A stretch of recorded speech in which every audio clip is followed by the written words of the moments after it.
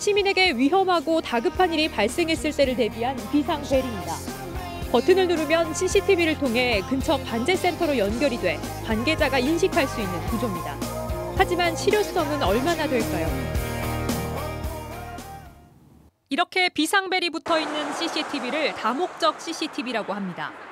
일반 CCTV처럼 범죄나 사고 예방 목적도 있지만 말 그대로 비상용, 위급한 상황에서 쓰도록 만든 겁니다.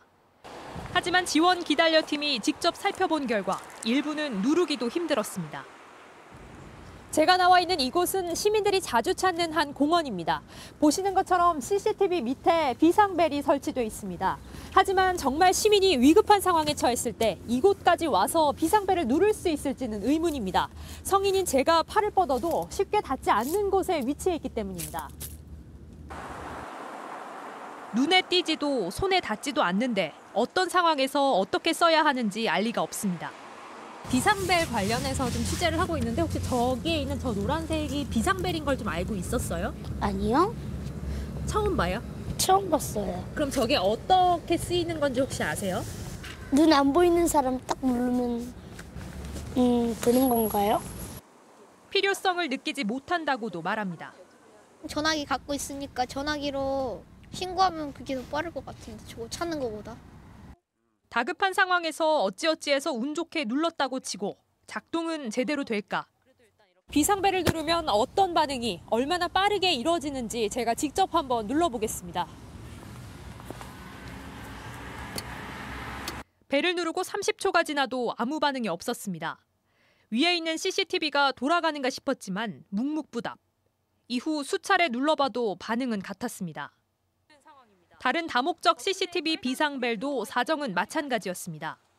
누른 지 한참 만에 희미한 목소리가 나오긴 하는데 잘 들리지 않습니다. 드릴까요? 네, 안녕하세요. 저는 지원 강원민방 소개림 기자라고 하는데요.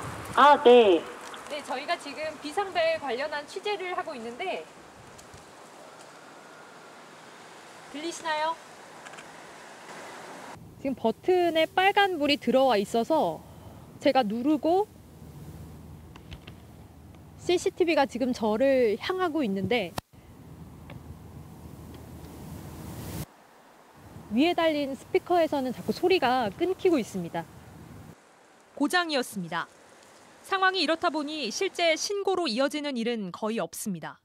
대부분이 왜 장난 전화가 많고요. 어린 학생들이나 이런 분, 이런 학생들이 장난하고 한 건이 불났다고 신고 있었던 게 있어요.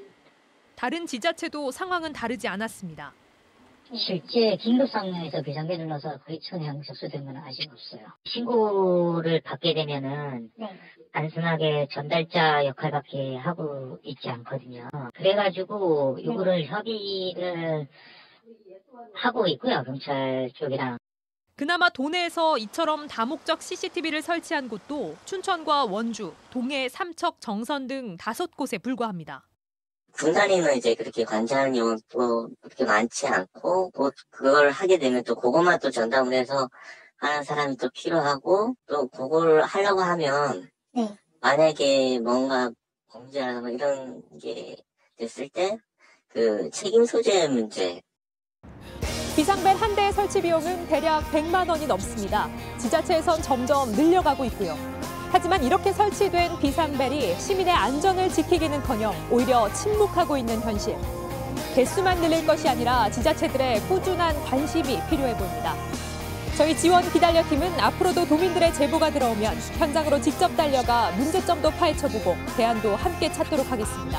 여러분의 소중한 제보를 기다립니다. 지원 기다려 송혜림입니다.